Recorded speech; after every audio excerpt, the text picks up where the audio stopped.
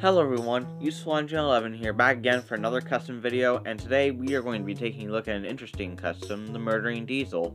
So without further ado, let's get started. Now, the Murdering Diesel is kind of interesting because he didn't like become popular until like earlier this year, like January, February, or even March of this year. But, however, by the awesome Train Boy, made his custom of the Murdering Diesel, I guess he became popular, even though he got his inspiration from someone else on Twitter. But yeah, basically, the Murdering Diesel became, you know, the biggest new trend in the, you know, Thomas fandom on Twitter, especially on Twitter.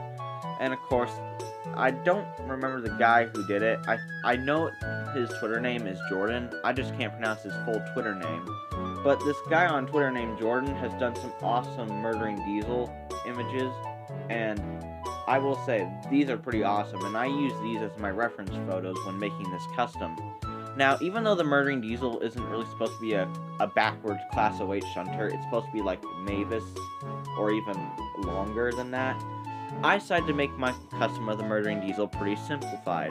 Basically, it's this was the diesel that was given to me by Thomas Winralia Models. Basically, I just painted it black and added all the gray details.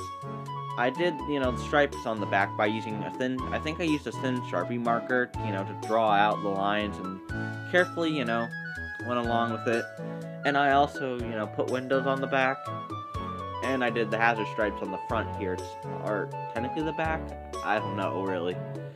And of course, I gave it this type of face, seen in this image right here. Now, now, here I printed out a lot of extra faces for the guy.